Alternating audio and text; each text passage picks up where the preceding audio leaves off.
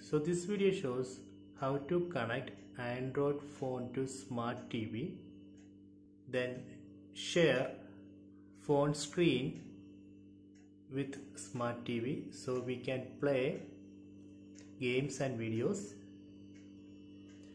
So we can play in full screen. So I will show you how we can configure this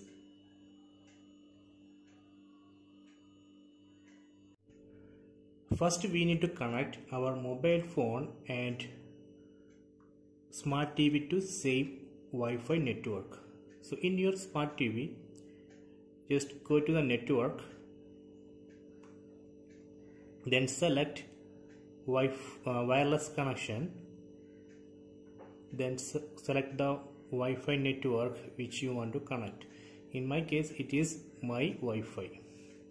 Then enter the password then save it.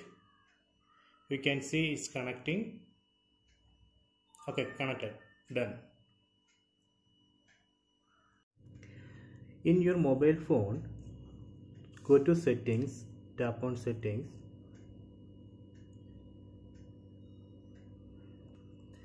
Then tap on Wi-Fi. Then from available networks you have to select the Wi-Fi network. You have to select the same Wi-Fi network which you connected to your smart TV so in my case this is my Wi-Fi. Tap on that and enter the password. Tap on connect. Okay it's connected. You can see Wi-Fi as connected to my Wi-Fi network. Then again go to settings then tap on more tap on wireless display then turn on wireless display tap on uh, wireless display. So we can turn it on. So now we turned on wireless display. Then in your smart TV open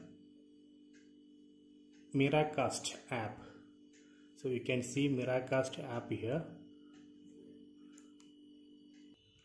Open this Miracast app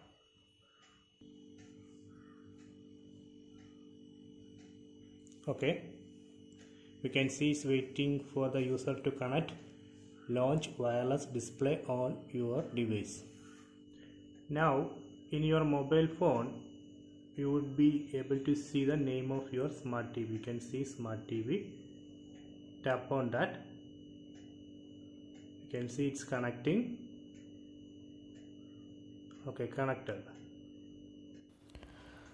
So this way we can share your mobile screen with your smart TV and you can play games and videos. I hope you enjoy this video. Please subscribe my channel. Please like and share the video. So if you have any doubt, please comment.